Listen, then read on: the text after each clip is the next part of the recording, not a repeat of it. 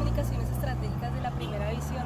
Hoy me encuentro en la vía que Riohacha comunica el municipio de Maicao en La Guajira y en la cámara nos acompaña el CAO segundo Oscar Palencia, quien hace parte de nuestro equipo. Palencia, buenos días. Mi teniente, buenos días, me presento. Un saludo muy especial a todos nuestros seguidores de las redes sociales del ejército y en especial a todas nuestras mujeres que se encuentran conectadas hasta ahora en su día tan especial. Mi teniente, feliz día. Muchas gracias Valencia. Igualmente feliz día a todas las mujeres y a todas nuestras seguidoras que nos siguen en este momento en las redes sociales del ejército.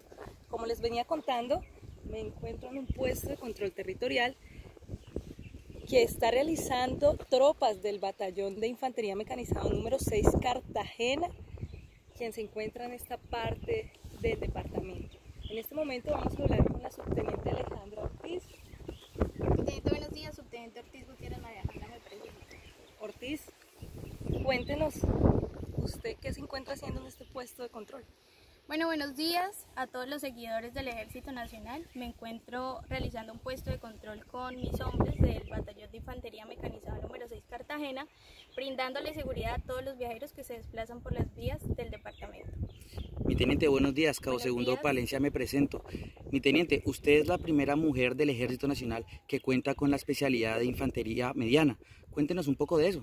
Claro que sí, soy la primera mujer especializada en infantería mediana. Me gradué del curso de empleo táctica de infantería eh, mediana el mes de noviembre del 2021. Gracias a este curso cuento con el conocimiento para eh, brindar eh, apoyo y realizar operaciones con vehículos, ya que no es lo mismo operar o realizar operaciones con tropas a pie que con vehículos mecanizados. Ortiz, un saludo para su familia. Bueno, a mi papá, a mi mamá, a mi hermanita que se encuentran en Sogamoso y a toda mi familia, eh, un saludo muy especial que gracias a ustedes no estaría en estos momentos donde me encuentro.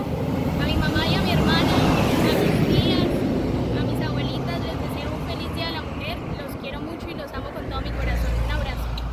Mi teniente, usted es una inspiración para todas las mujeres militares. Un saludo para todas ellas que se encuentran en las escuelas de formación.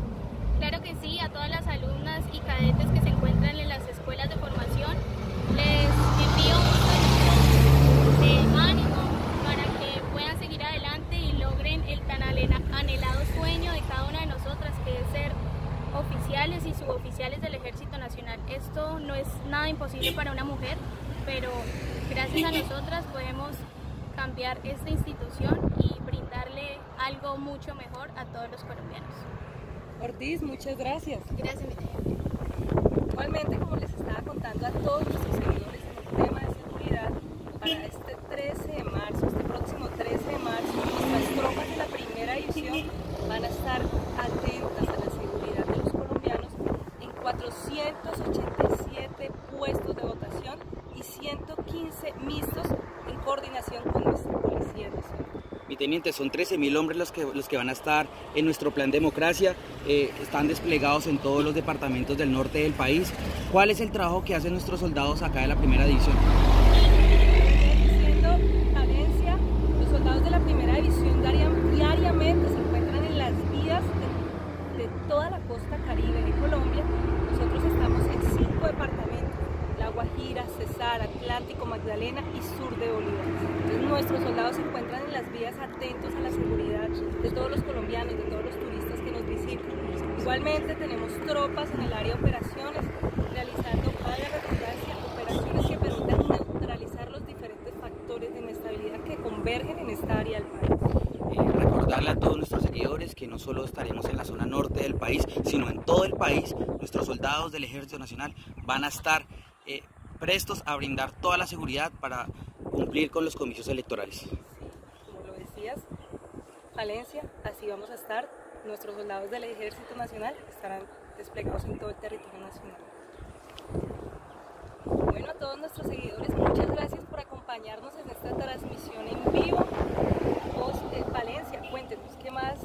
Un mensaje de despedida para todos nuestros seguidores.